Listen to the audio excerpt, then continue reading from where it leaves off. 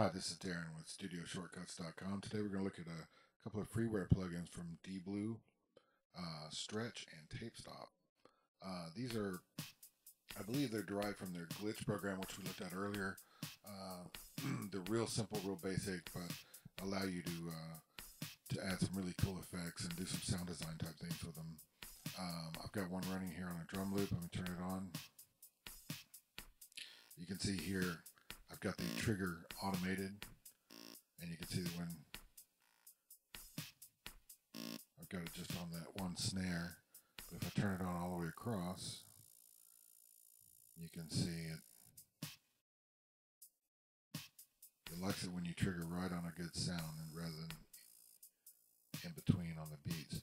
Anyway, you can um, you can affect the size of the grain to get those cool doesn't just work on drum loops. You can put it on bass lines, all kinds of things. Uh, if you use it on bass, you want to make sure it has have a lot of crossfade on it because you'll, you'll get clicking. Um, you can see, that's a really cool effect. A lot of times I'll just run this on a loop and play with the grain size and record everything and just use whatever Uh, the next one we look want to look at is Tape Stop, which is also part of dBlue Glitch, and uh, this one works the same way. You just trigger it, and you can automate this trigger. There's really no interface for it or whatever.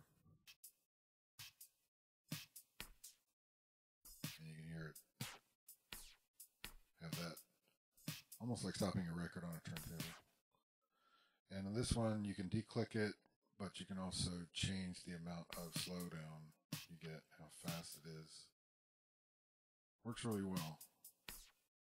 Works great on turnarounds and electronic music or to get a little something more out of a riff or a bass line. Um, and it's real simple, real easy to use, and it's totally free. So check them out. They're free and they're on their web. They're on the web. This is Darren with StudioShortcuts.com.